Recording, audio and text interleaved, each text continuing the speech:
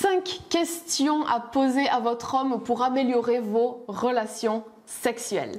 Bonjour à toutes, j'espère que vous allez hyper bien. Si vous ne me connaissez pas encore, je suis Mélodie S, votre love coach et votre booster en confiance en soi numéro 1 pour vous les femmes, pour trouver un homme qui vous plaît, un homme qui vous mérite pour être en couple et pour le rester.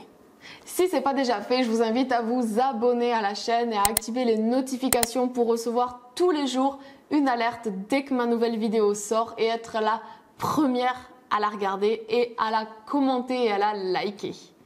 C'est bizarre, hein, mais pourquoi on parle de tout sans tabou, de drogue, d'alcool, de décès, mais pas de sexe? Moi, ça me. Je comprends pas. Euh, c'est pas facile d'en parler, c'est clair, mais c'est vraiment dommage en fait que ça soit tabou parce qu'il y a tellement de choses à communiquer, qu'il y a tellement de choses à transmettre et tellement d'erreurs qui sont faites aussi parce que justement il n'y a pas assez de communication autour de ce sujet. Mais je vous garantis que de parler de sexe avec votre partenaire, de poser des questions, ça va vraiment améliorer mais drastiquement votre vie sexuelle. Alors la première question que vous pouvez poser, donc celle-là c'est la plus touchy, en fait c'est la plus difficile, pas à poser, mais pour recevoir la réponse. En fait ça va être quelle a été la meilleure expérience sexuelle que tu as eue, que ce soit avec ou avant moi? Donc là, si vous n'êtes pas prête à vous faire secouer votre ego, éventuellement si c'est pas avec vous cette expérience-là, la posez pas. C'est délicat, mais certaines choses que lui faisait ou qu'on lui faisait lui plaisait et peut-être que ça lui manque. Et c'est pareil pour vous. Peut-être qu'un de vos ex vous faisait quelque chose qui vous manque aujourd'hui. C'est pas votre ex qui vous manque, c'est une action que vous pouvez implémenter dans votre vie sexuelle.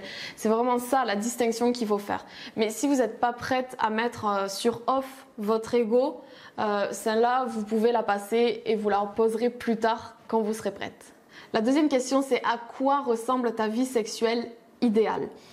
Donc, à quelle fréquence? Est-ce que tu aimes bien faire ça sur le pouce le matin? Euh, Est-ce que tu préfères quand il y a beaucoup de câlins? Définissez chacun quelle est votre vie sexuelle idéale et faites un match, un mix de tout et créez votre vie sexuelle idéale. La troisième question, ça va être qu'est-ce que tu aimes dans notre vie sexuelle actuelle? Parce que c'est bien beau de vouloir mettre des choses en plus dans une vie sexuelle dans un couple, mais la question peut vous surprendre en fait, parce que peut-être que vous, vous faites quelque chose, vous n'avez pas forcément l'impression que c'est le feu pour lui, alors qu'en fait, lui, il adore ça, mais il vous l'a jamais dit en fait. Juste, euh, il prend son pied sur le moment et puis il a jamais verbalisé. J'adore quand tu me fais ça. La quatrième question, ça va être qu'est-ce que tu voudrais ajouter à notre vie sexuelle? Donc c'est là où vont survenir tous les fantasmes et toutes les petites hontes qu'on ne devrait pas avoir, mais qu'on peut avoir. Demande-lui euh, qu'est-ce que tu voudrais qu'on essaye au lit si tu n'avais pas peur de demander? Si tu n'avais aucune honte, aucune gêne, si tout ça, ça n'existait pas, qu'est-ce que tu aimerais essayer?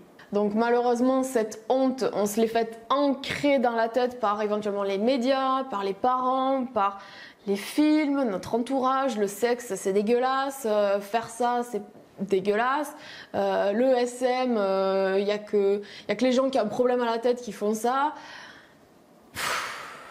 Moi, ça me tue en fait. Chacun fait ce qu'il veut. Et ça ne devrait pas être une gêne de demander de faire quelque chose qui nous fait plaisir, qui nous apporte du plaisir. Donc, mettez une ambiance de confiance quand vous posez cette question. Vraiment, euh, aidez votre partenaire à s'exprimer. Aidez-le à lui, à vous dire qu'est-ce qu'il aimerait essayer. Et dernière question, ça va être qu'est-ce que tu veux ajouter à notre vie sexuelle? Donc, dans le sens où euh, qu'est-ce que vous faisiez au début de la relation, mais que vous faites plus? Qu'est-ce que vous faisiez avant, mais que à force vous avez trouvé une nouvelle routine sexuelle?